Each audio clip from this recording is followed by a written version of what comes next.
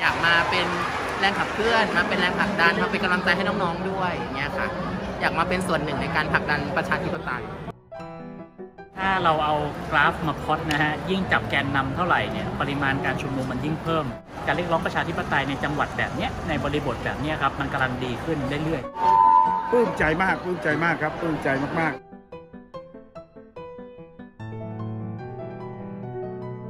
จังหวัดพิษณุโลกเนี่ยเราเป็นเมืองที่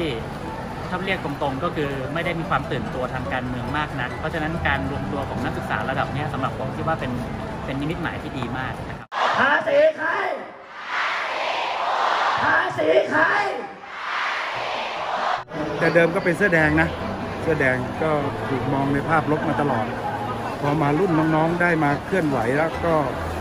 ก็ได้เหมือนกับเราได้ส่งไม้ให้น้องๆเข้าไป สันดีนาจงมีนาถประชาราชจงเจริญกันดาว่าเป็นประเทศที่สิวิไลซ์เป็นประเทศที่เอเป็นเอกราชและรักษาความสงบสุขให้กับบ้านเมือง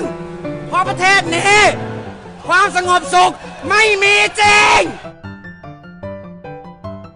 ผมว่ารัฐบาลก็เลยเล็งที่จะใช้ความรุนแรงอยู่แล้วอะครับ ถึงพวกเราจะออกมาสันติหรือไม่สันติเขาก็ใช้อยู่แล้วครับแต่เรา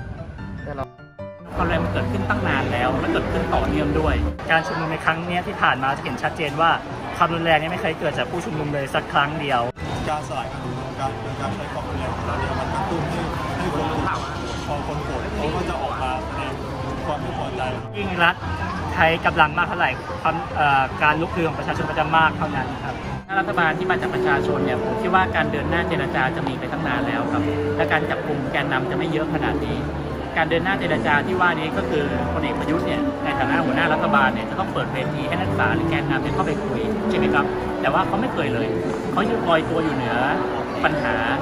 และเขาเองก็ยังมาพูดจาข่มขู่ประชาชนอีกอ่าประมาทเพราะทุกคนมีทั้งตายวันนี้ตายพรุ่งนี้อะไรของท่านน่ะในบทสวดมีไหมอย่าประมาทชีวิตพร้อมจะตายในทุกโอกาสนะโดยโรคภัยไข้เจ็บด้วยแล้วแต่เรากำหนดไม่ได้ อย่าอะไรล่ะ ท่านพญามัจจุราชที่มีเสนามาก